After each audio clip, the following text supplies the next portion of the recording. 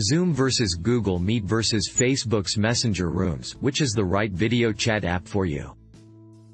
Video chatting apps have exploded in popularity over the past two months as the world tries to sit the coronavirus pandemic out in the comfort of their homes.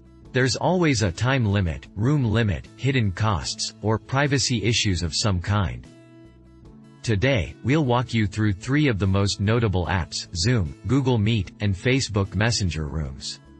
Zoom Zoom is more popular than ever, but it's not perfect. Zoom is a very effective option for those who miss their friends, but there are some big caveats to consider. Zoom offers both free and paid plans, and using the free version for long enough might convince you to pay. For free, Zoom meetings can hold up to 100 people and last 40 minutes long. Once the time limit is up, you can just start a new meeting and send the link around to people again, but that does get annoying. It's worth noting that one-on-one -on -one meetings have no time limit in the free version. Even if you don't give Zoom a cent, its best feature is the ability to put silly backgrounds behind you, something you've almost certainly seen on social media recently. Sadly, as Mashable privacy expert Jack Morse has warned since before mass social distancing started, Zoom's data privacy record is grim. Google Meet if you want video calls from a slightly more established brand, Google has your back. You might already know about free Google Hangouts calls, but today we're covering Google Meet.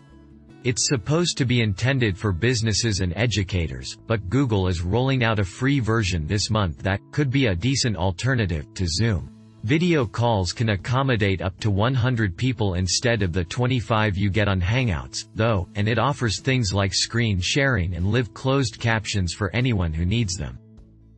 The free version will have a 60-minute time limit on calls, but Google isn't enforcing that until after Sept. Paid G Suite plans that include full Meet functionality start at $6 per user per month, but like Zoom, those are really meant for businesses. Last but not least, Google promises strong data privacy in the form of complex meeting codes, meeting encryption, and other niceties. It certainly sounds less leaky than Zoom, but Consumer Reports found that Meet's privacy policy allows for some shady-sounding data collection during video calls. Facebook Messenger Rooms Facebook's video call app is here, and its privacy issues haven't gone away. It's tough to think of a tech company with a more publicly questionable privacy record than Facebook, but that hasn't stopped them from hopping on the video chat train. Facebook Messenger Rooms, which launched late last month, is the company's newest effort. On its merits, Messenger Rooms seems like a totally solid service. Rooms can hold up to 50 people and you can invite anyone to a call with a URL, even if they don't have a Facebook account. Facebook has addressed privacy concerns for Messenger Rooms, but they haven't gone away. It's a shame that a perfect video call service doesn't exist right now, as much we love online town.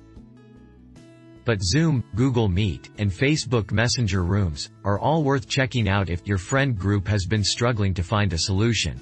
Thanks for watching. Please do like, share, and subscribe.